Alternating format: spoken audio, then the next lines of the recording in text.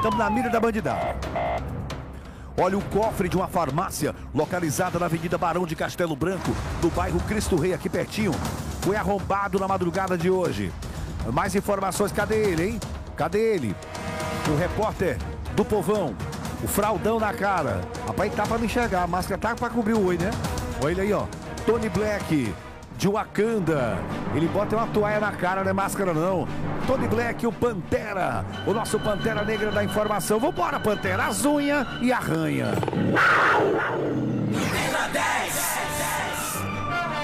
A nossa equipe se encontra aqui ao lado de policiais é, lotados no primeiro batalhão de polícia. Tenente, o senhor está aqui ao lado de uma farmácia recém-inaugurada. O que, que aconteceu aqui? Bom, tudo indica que houve um arrombamento aí na farmácia, viu? Não sabemos precisar o que, que levaram alguma coisa. Estamos aguardando a perícia, ok? A perícia está chegando. Positivo. Tá certo, obrigado, tenente. Esses dois PMs foram os dois é, primeiros a chegarem aqui no local.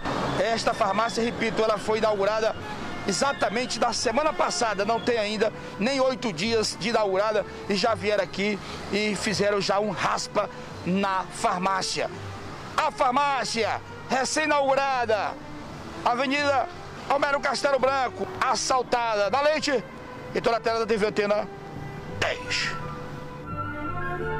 É, os bandidos aí, olha, tu- tudo que você. Tudo que vo- você que tem aí é um estabelecimento, né?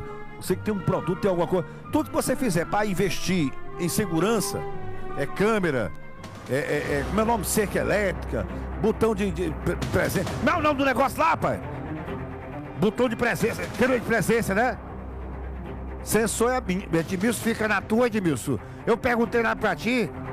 Sensor é Menino? Hum, hum. Fala dizer no ar, não. Sensor de quê, Edmilson? Sensor de presença, é? Ó, o velho, o velho tá dando uma dentro, né?